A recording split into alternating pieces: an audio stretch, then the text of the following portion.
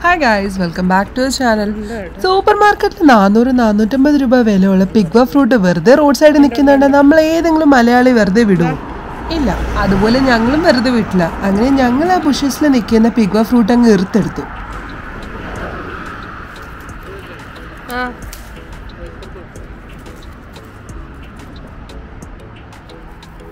കാണുന്ന പോലെയല്ല നല്ല മുള്ളുണ്ടായിരുന്നു ആ ചെടിയിൽ അതുകൊണ്ട് തന്നെ ഞങ്ങൾക്ക് ഒരുപാടൊന്നും വിൽക്കാൻ പറ്റിയില്ല. പക്ഷെ കയ്യിൽ കിട്ടിയതൊക്കെ ഞങ്ങൾ പിച്ചെടുക്കാൻ മാക്സിമം ശ്രമിച്ചായിരുന്നു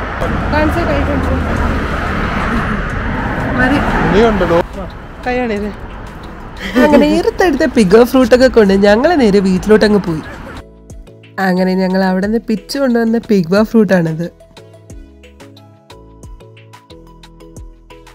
പിഗ്വ എന്നുള്ളത് ഇതിന്റെ പോളിഷ് നെയിമാണ്. ഇതിനെ ഇംഗ്ലീഷിൽ ക്വിൻസ് ഫ്രൂട്ട് എന്നാ പറയുന്നത്. ഇത് രണ്ട് വെറൈറ്റി ഉണ്ട്. നമ്മളിപ്പോ കണ്ടതുപോലെ ബുഷസിൽ പിടിക്കുന്നതും പിന്നെ നല്ല മരത്തിലും പിടിക്കുന്നതും ഉണ്ട്. ഇത് ഇത്രയും ഫ്രൂട്ട് ഞങ്ങൾക്ക് അവിടെ നിന്ന് കിട്ടിയതായിരുന്നു. ഇനിയും നിപ്പുണ്ടായിരുന്നു പക്ഷെ മുള്ളുള്ളത് കൊണ്ട് തന്നെ ഞങ്ങൾക്ക് എല്ലാം കൂടി പിക്കാൻ പറ്റുന്നില്ലായിരുന്നു. സൂപ്പർ മാർക്കറ്റിലൊക്കെ നല്ല ഡിമാൻഡുള്ള ഫ്രൂട്ടാണിത് നാനൂറ് നാനൂറ്റമ്പത് രൂപ വില ഉള്ളതാണ് നമുക്കിത് വെച്ചിട്ട് ഒരു അച്ചാർ അങ്ങ് സെറ്റ് ചെയ്താലോ? റോഡ് സൈഡിൽ നിന്നതുകൊണ്ട് തന്നെ അത് നന്നായിട്ട് കഴുകിയെടുത്തതിന് ശേഷം ഞാൻ കുഞ്ഞു കുഞ്ഞു പീസസ് ആയിട്ട് അത് കട്ട് ചെയ്ത് തുടങ്ങി. ഇത് എന്റെ അരിയാണ്. ആപ്പിളിന്റെ അരിയൊക്കെ പോലെ ഇരിക്കും കിട്ടിയത് ഇവിടെ ഇരുന്നതെല്ലാം കൂടെ ഞങ്ങൾക്ക് ഇത്രയും ഇത് കിട്ടിയിട്ടുണ്ട്.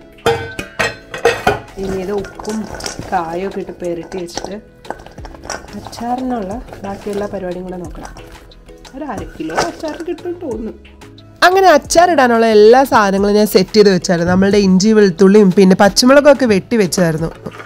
പിന്നെ ഈ കാണുന്ന നമ്മുടെ ഉപ്പും കായപ്പൊടിയും കൂടെ മിക്സ് ചെയ്ത് വെച്ചതിന് ശേഷമുള്ള പിഗ്വ ഫ്രൂട്ടാണ് അച്ചാറിട്ട് എനിക്ക് വലിയ പരിചയമില്ലാത്തത് കൊണ്ട് തന്നെ നേരത്തെ കൂട്ടി ഞാൻ നാട്ടിൽ വിളിച്ച് റെസിപ്പിയൊക്കെ ചോദിച്ചു വെച്ചായിരുന്നു. അപ്പോൾ നമുക്ക് കലാപരിപാടി അങ്ങ് തുടങ്ങിയാലോ? അങ്ങനെ പാനിലോട്ട് കുറച്ച് നല്ലെണ്ണ ഒഴിച്ചതിന് ശേഷം ഞാൻ ലേശം ഇഞ്ചിയും അതിലോട്ട് കുറച്ച് ഉലുവയും കൂടെ ഇട്ട് ആദ്യം മൂപ്പിച്ച് മാറ്റിയായിരുന്നു. അങ്ങനെ അത് രണ്ടും മാറ്റിയതിന് ശേഷം ഞാൻ അതിലോട്ട് കുറച്ച് കടുക് ഇട്ടായിരുന്നു. അതൊന്ന് പൊട്ടി വന്നപ്പോഴത്തേക്കും വെളുത്തുള്ളി ഇട്ട് അങ്ങ് വഴട്ടിയെടുത്തു വെളുത്തുള്ളി ഒന്ന് സെറ്റായി വന്നപ്പോഴത്തേക്കും ഞാൻ അതിലോട്ട് ഇഞ്ചിയും പിന്നെ ഇരുന്ന് പച്ചമുളകും കൂടെ ഇട്ട് ഒന്നും കൂടെ സെറ്റാക്കി എടുത്തു.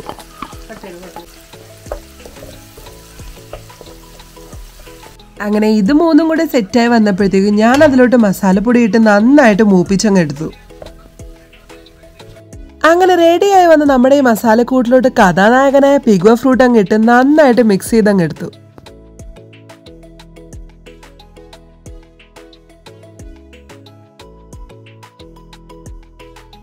അപ്പോൾ ഇതെല്ലാം കൂടി നന്നായിട്ട് യോജിപ്പിച്ചതിന് ശേഷം ഞാൻ നേരത്തെ മൂപ്പിച്ച് മാറ്റി വെച്ചിരുന്ന ഇഞ്ചിയും പിന്നെ നമ്മുടെ ഉലുവയും കൂടെ ഒരു മിക്സിഡ് ജാറിലിട്ട് പൊടിച്ച് ഇതിന്റെ മുകളിലിട്ട് നന്നായിട്ട് സെറ്റ് ചെയ്തങ്ങെടുത്തു. അയ്യോ നമ്മുടെ വിനീഗർ മറക്കല്ലേ? അല്ലെങ്കിൽ അച്ചാർ ഒരു വഴിയാവും. അപ്പോൾ നമ്മുടെ പിഗ്വ അച്ചാർ ഇതാ ഇവിടെ റെഡി ആയിട്ടുണ്ട്.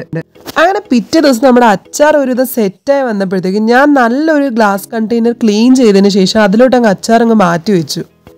നമ്മൾ ഈ അമ്പഴങ്ങയൊക്കെ ഇട്ട് അച്ചാറിടില്ലേ? അതുപോലെയല്ലേ കാണാനിത്.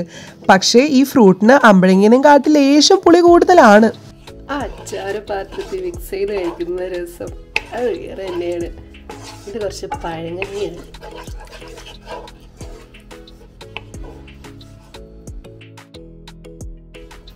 പൊളി.